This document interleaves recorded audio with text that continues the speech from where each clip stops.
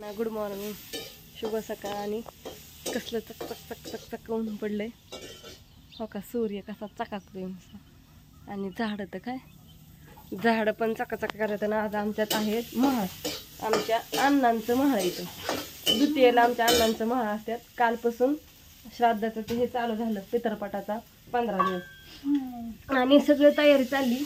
आम्हाला भांडी घासायची बाहेरचा काम सगळं आवरून आले. भांडी राहिला घासायची.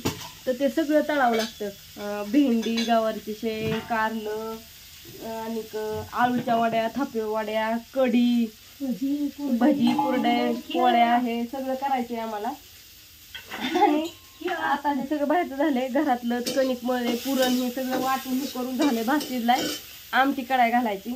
पण सगळं संकट आवरावं लागतं. घरातलं बाहेरचं सगळं गुरांचं पोरांचं. त्यात आज शनिवार पोरं सगळी शाळेत गेल्यात. अण्णा शाळेत गेला की. त्याच्या पप्पाने त्याला शाळेत लावला म्हणलं त्याचं ती बुटही तुटली होतं ती शिवून आण म्हणलं सगळं. आणि कठीण कराय उंद्याचा त्याची केस पण खूप वाढल्यात ना. अं, सर्दी होती कारण का मी दोन तीन वेळा पावसात भिजली पण मला आज बोलाय पण यायला मग डोकं हे सारखं. डोकंच लय दुखतंय या सर्दीने. भाजून टाका मी एवढी भांडी घासून आणते. नाही भाजून बारीक करायचं. म्हणजे आमटी मस्त होती. मग आणि तुम्ही येळवण्याची आमटी कधी खाल्ली असली तर बघा एकदम मस्त लागते. डाळ शिजवलेली. सगळं छान लागतं. सगळ्यांच्या घरी असते ती पोळी. सगळी करते ती ती काय? नाही सगळ्यांच्या घरी सगळ्यांच्या घरी करतात ती. बरोबर आहे की? असं काय म्हणत नाही की आपल्याच घरी असती.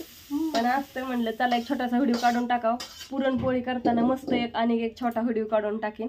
कारण का बायका पण येतात पोळ्या करायला आज आमच्यात म्हणजे काय आम्ही घरीच करत नाही. अं, आज तरी नाही कोणाला सांगितलं कारण की आपल्या म्हाताऱ्याला वर्षी सगळं आणि वर्ष श्राद्ध नाही झालं पण हे करावंच लागतं कारण का हे श्राद्धातलंच असतं हा. प्रकार. आणि आमच्या म्हाताऱ्याची पण आहे चवत भरणी परवा दिवशी. ते करावंच लागतं असं काय काय असतं ते काही मला पण एवढं शास्त्र माहीत नाही पण आमच्या आत्या म्हणतात म्हणून हे.